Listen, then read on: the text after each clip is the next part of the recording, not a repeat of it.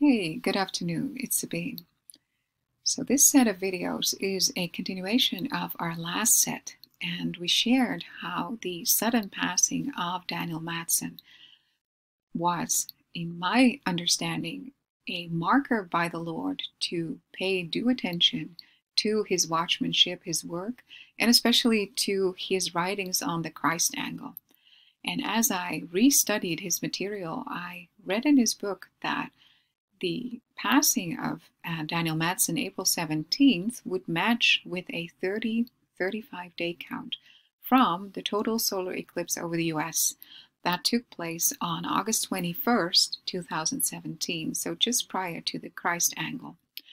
And this 34 day count in between August uh, 21 and the Revelation 12 sign of September 23, if we count 1335 days from August 21, 2017, and the calculation is listed in the article, you land exactly on the passing date of Daniel Matson. So this may serve as extra confirmation that I believe the Lord is speaking to us, that the event he put forward is a really important one. So in the first update after the article um, was published in the video, I made mention that the Prince's pathway of full redemption unfolds in heaven at sunset, both from the vantage point of Jerusalem and Giza. And Dr. Barry Ah also shared this view and this vision in his video. So, looking into the heavens in the direction of the eastern sunrise at dawn from May 13 to 17, and that is the time frame we have discussed of the departure timeline. At the 444 mark, which is the nautical twilight in Jerusalem on both days, we see the pathway of liberty unfolding for Princess Andromeda. And the constellation Andromeda represents those saved but still awaiting the finalization of their red- redemption in the heavens. Um, for uh, to be freed from being shackled, they are still shackled with their hands by Perseus the breaker. And Perseus the breaker represents Jesus as a breaker, a chain breaker, and waymaker, to then be lifted up by Pegasus, the winged horse, into the throne room where Cepheus and Cassiopeia, the king and the queen, reside. So in the center, at the top, we can see the Northern Cross, which is Cygnus the Swan, and that relates to Gabriel's Fist and a Black Swan event, an extinction level event that is um, explained in uh, an article below from a couple of years ago. To the right, we see Jupiter, the king planet in Aquarius, the water bearer, and Saturn. Saturn is associated with Kronos and, and Satan, exactly at the transition mark where the atonement goat transitions into the redeemed fish. So before we continue, let's take a look at that image. So at sunset in Jerusalem and Giza, from May 13 to 17. This is what is visible. So looking into the eastern direction, we see this uh, window, this pathway of liberty and full redemption of Andromeda, Andromeda the princess. And the constellation Pisces was what was being highlighted on the right side in the Christ angle, because this is where Uranus was positioned at the time. So we see Uranus now in Aries, the lamb, picture of the throne room. The sun is rising at this point, and we see the main players lining up in the pathway of liberty. We see the upright fish with the heavenly calling.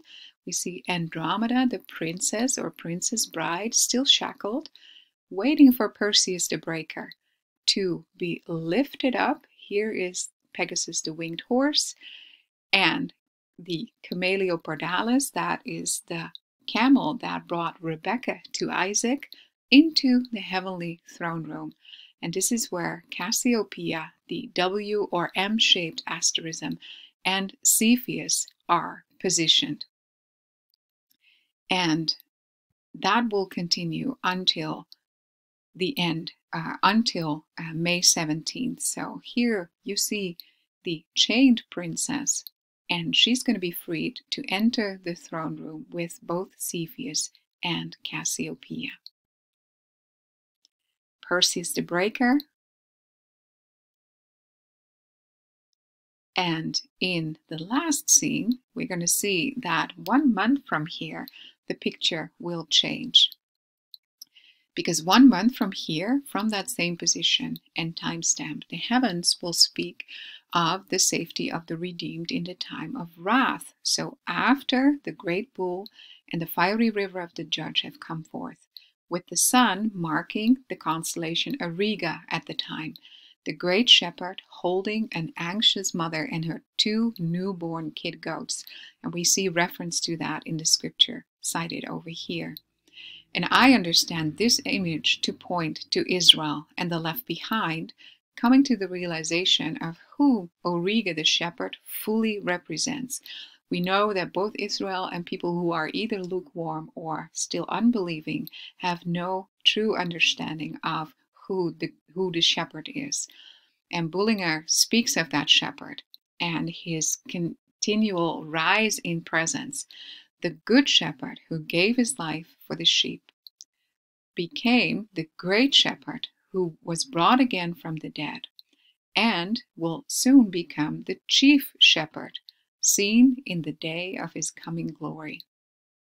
In Revelation 3:10 and Luke 21:36, the picture is confirmed that the faithful and obedient will be kept from the hour of testing, so they will not go through it meaning we leave before judgment starts. And we are promised to escape all things.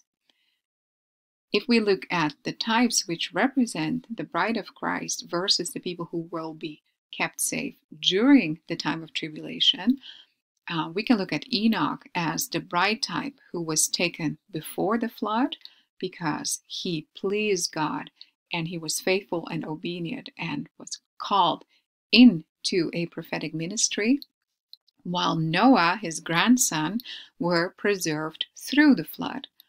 So, this is the picture of uh, mid June onwards. We can see that the uh, picture of Andromeda being rescued is no longer center stage, but the sun rising at the celestial silver gate is pointing to Auriga, the shepherd or charioteer.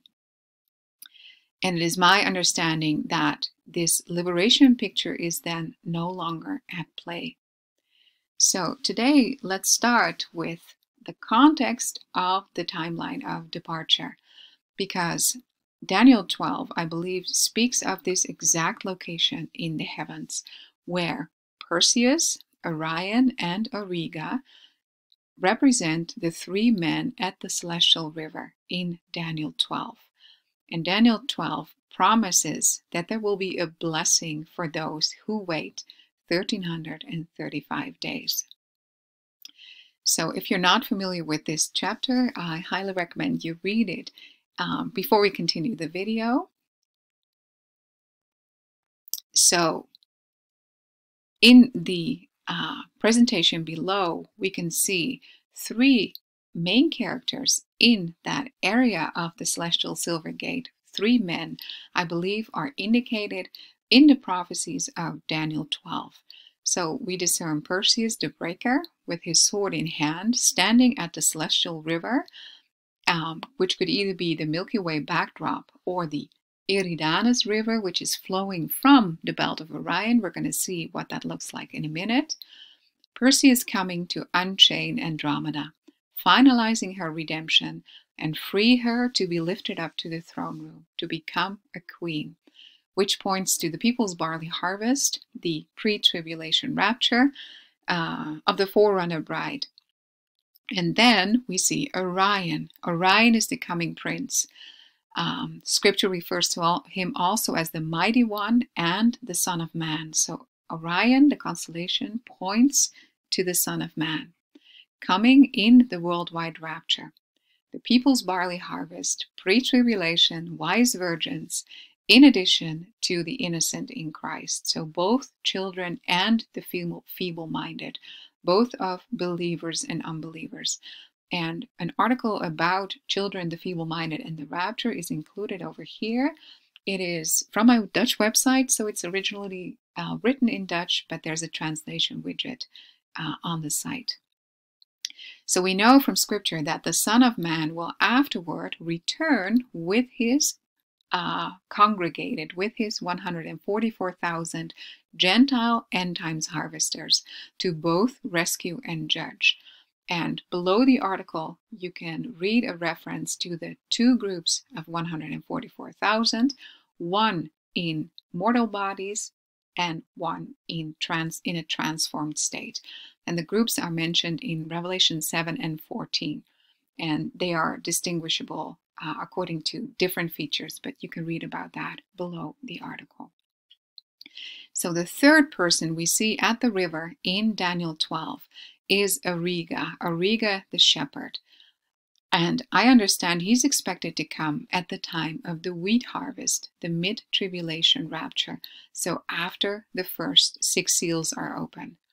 So here we see the first uh, man at the river, Perseus the breaker, the second man at the celestial river, Auriga the shepherd, and the third man at the celestial river, Orion the hunter, the coming prince. And note especially these three belt stars. And from its belly flows a heavenly river, Eridanus. We will see it in a minute.